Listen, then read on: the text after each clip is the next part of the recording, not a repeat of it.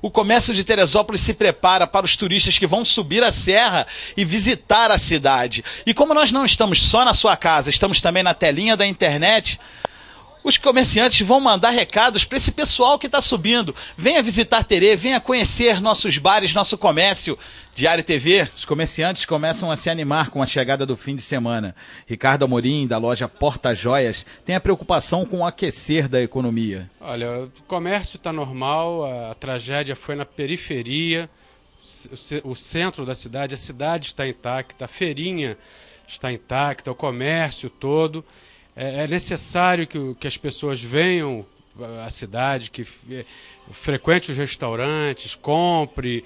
Não há risco nenhum na cidade, nada é, que possa preocupar. Então é bom que, que as pessoas venham até para fomentar, para coisa não, não ficar ruim, porque o ruim já foi.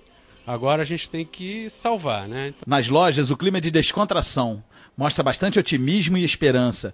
O gerente da Tribus, Emerson Carvalho, falou sobre os pontos turísticos da cidade. Os pontos turísticos estão todos lindos, maravilhosos, né, cara? O Parque Nacional, Comari. Domingo mesmo eu tive na subsede da Serra, o parque tá bonito, tá bem cuidado. É o que tu falou, os pontos turísticos não aconteceu nada, graças a Deus. Infelizmente aconteceu esse problema, mas Teresópolis está com 90% em ordem, tudo funcionando, tá tudo direitinho, hospital, a feirinha tá bombando. E vamos lá, vamos seguir em frente, se Deus quiser. Os donos de restaurantes também convidam os turistas para voltar a saborear a cozinha teresopolitana. É, doutor, queria falar para o pessoal aí que está em casa aí, principalmente para os cariocas, os turistas, que a cidade está de pé, cara. Os hotéis estão prontos, o comércio está animado, os restaurantes, os restaurantes, os bares estão bombando. E dizer que a cidade está tá de pé, está inteira, de braços abertos, esperando o pessoal para vir visitar a gente, para voltar, encher a cidade no final de semana. O comércio aproveita alguns artifícios para atrair os clientes, como promoções e parcelamentos bastante interessantes para facilitar a vida do cliente turista e dos teresopolitanos que já voltam a encher as ruas de Teresópolis. Os lojistas mostram otimismo e informam que a cidade está 100%. O comércio está com tudo para o movimento do fim de semana. Na verdade, o pessoal fala muito, as pessoas gostam de tornar uma, tragédia maior do que muitas vezes ela é. Realmente houveram vítimas, houve um grande estrago, mas Teresópolis não se resume somente às localidades atingidas pela chuva.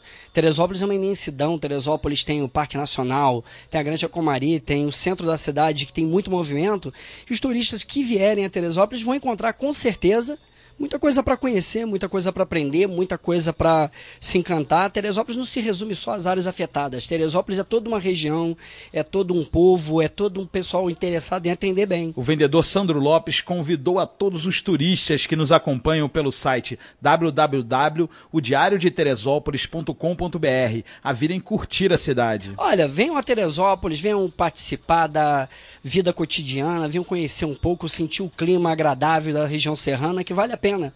É um lugar bom para se conhecer, tem pessoas simpáticas, tem pessoas legais e você vai ser muito bem recebido. E que venham todos a Teresópolis aproveitar tudo que ela tem de bom, o ar puro da serra e as suas belezas naturais, se reerguendo com fé e ajuda de todos.